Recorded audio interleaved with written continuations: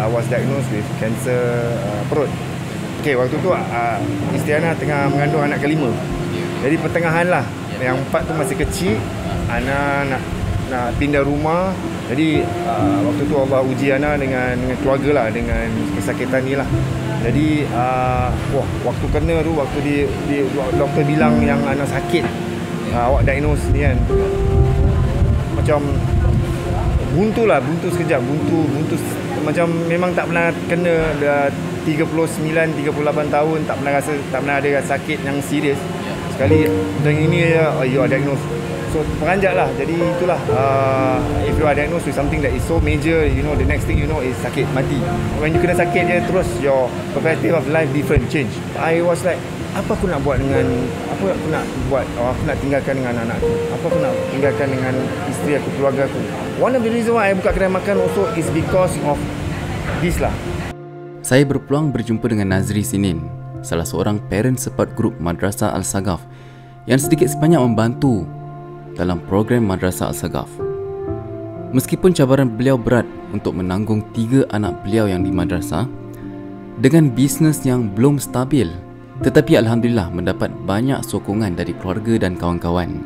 Kedai ini is managed by me and my wife, but the one behind that support us uh, is my mother. Uh, dia tahu yang anak dia sakit. Permohonan seorang ibu. Bila anak dia sakit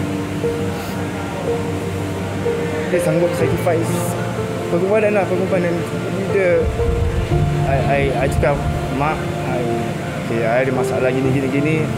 Mak boleh bantu tak? Mak boleh bantu nanti kalau InsyaAllah kalau kita ada ni Kita bayar balik lah. Every time she assure me Azin uh, You got a young family.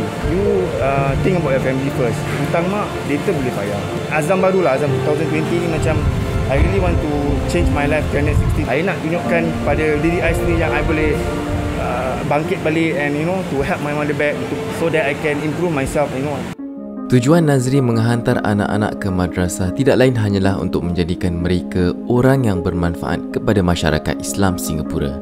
Madrasah ada ada asas-asas agama, basic-basic agama yang diorang terapkan dan kami pun baru juga nak nak, nak touch on agama. Jadi kami juga uh, mahukan mereka untuk uh, biasakan diri dengan uh, dengan uh, apa uh, Islamic ways of uh, learning.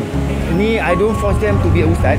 Whatever you do, you at least manfaatkan your talent to manfaat dengan orang lain. Ada hadis kan yang cakap apa uh, sebaik-baik kamu ialah orang yang beri manfaat kepada orang lain. InsyaAllah dengan adanya uh, itu that kind of mentality ada I terapkan awal-awal tu InsyaAllah they will be a better than uh, me and my wife when we are growing up lah where we don't have that kind of support.